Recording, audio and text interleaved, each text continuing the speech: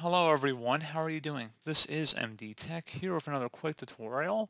In today's tutorial, I'm going to show you how to hopefully resolve the Windows Update error code 0x8024401C that you're experiencing on Windows. That says that there were some problems installing updates, but we'll try again later. If you keep seeing this and want to search the web or contact support for information, this may help, and it'll say in parentheses 0x8024401C. So this should hopefully be a pretty straightforward process here, guys. And without further ado, let's go ahead and jump right into it. So first thing I recommend doing would be to open up the search menu and type in troubleshoot. Best match should come back with troubleshoot settings. Go ahead and open that up. On the right side underneath options, you want to go select other troubleshooters. And underneath most frequent, select the Windows Update troubleshooter and the run button that corresponds to it.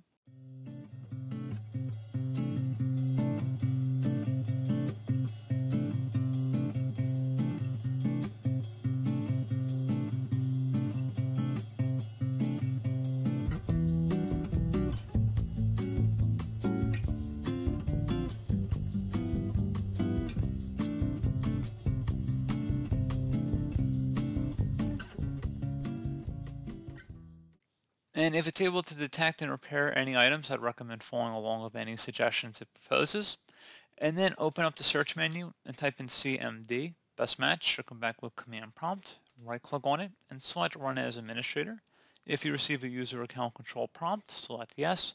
And now into this elevated command line window, you want to type in SFC followed by a space forward slash scan now. Scan now should all be one word attached to that forward slash out front. Hit enter on your keyboard to begin the system scan. This will take some time to run, so please be patient.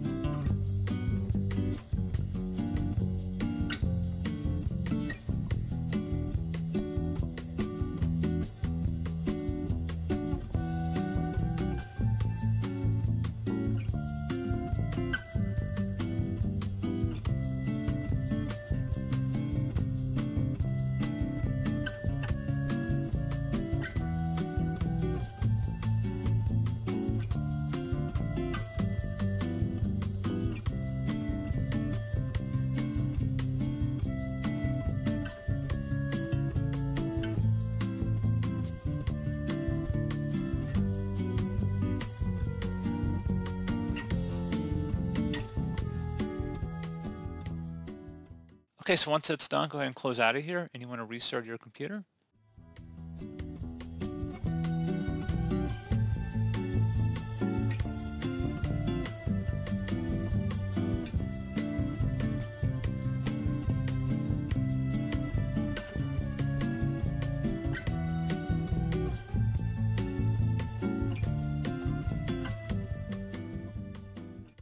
And there you go guys, so hopefully that was able to resolve your Windows Update error message 0x8024401C, and if you attempt to check for updates again, you should be good to go.